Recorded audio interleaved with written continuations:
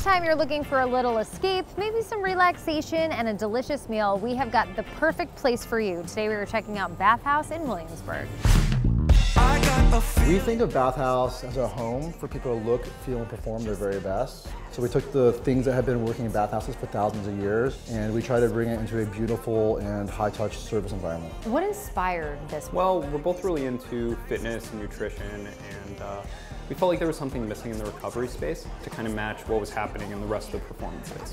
What are some of the kinds of experiences that people can have when they come here? We have three pools, hot, cold, and thermoneutral. Two different kinds of saunas, Scandinavian and tropical heated marble hammam, steam room, but we also have a full range service menu.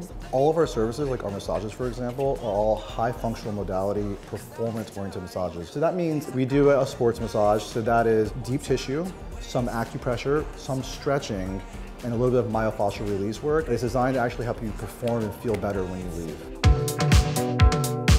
Is there an order that we should go through experiencing this? There's a really no rules to bathhouse. I'll give you the bathhouse basic. So start off in the steam room, open your pores up, open up your sinuses, then 15 minute minimum in either sauna of your choice, straight to the cold plunge. It's all about just catching your breath. And then from there, just bathhouse. The only rule is that everybody down here has to be in a bathing suit. If they don't want to bring one, we do sell them. We have a great retail selection of bathing suits. And then everything outside the locker rooms is co-ed. We provide slippers for everybody, and we provide robes for people dining in the restaurant. So if people want to go upstairs right after they're done, all they have to do is throw on a robe and they can sit down for a meal. I love that, so casual. So we are here, is this called the Bathhouse Restaurant?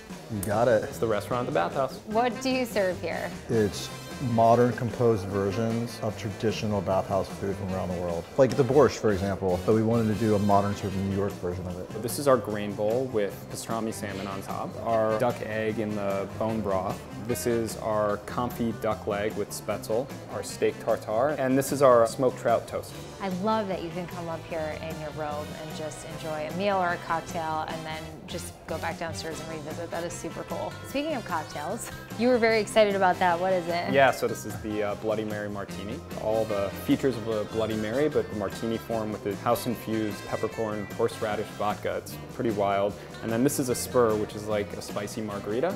Do you need to be bathing in order to experience the restaurant? We take walk-ins as well, so you can come off the street if you just feel like coming to the restaurant, or you can visit the restaurant as part of your bathhouse experience.